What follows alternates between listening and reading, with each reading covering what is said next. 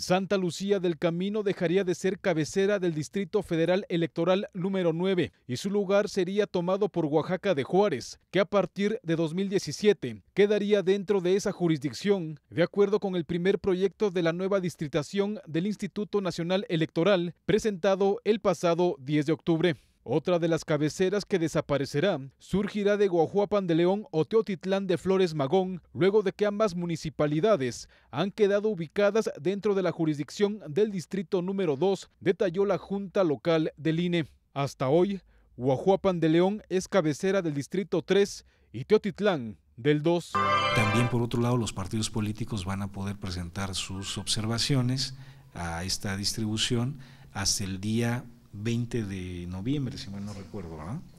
El día, el día 20 de noviembre. Observaciones de partidos y de pueblos y comunidades indígenas,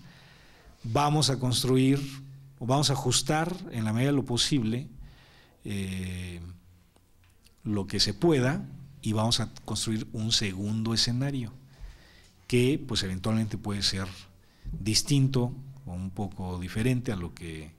eh, nos generó el sistema de cómputo y sobre ese segundo escenario pues ya es el que será presentado al Consejo General para que pueda ser eh, aprobado conjuntamente también con la propuesta de las cabeceras eh, distritales, que tendrán que ser aquellos eh, municipios o ciudades que tengan mayor infraestructura, mayores vías de comunicación, mayores servicios urbanos.